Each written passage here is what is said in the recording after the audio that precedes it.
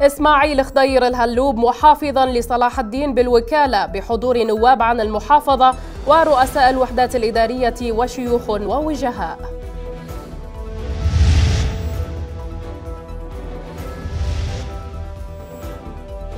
عمليات استباقية للقوات الماسكة للأرض لتجفيف ممرات الإرهابيين جنوب صلاح الدين والمواطنون يشكون ارتفاع أسعار المواد الغذائية.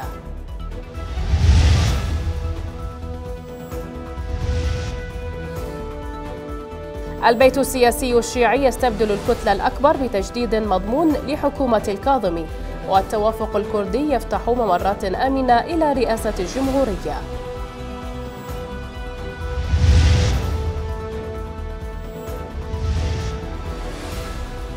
العودة إلى الاحتجاجات الشعبية على طاولة الخلاف السياسي ومطالبة المجتمع الدولي إبعاد العراق عن كف خطر الإرهاب في الهول السوري.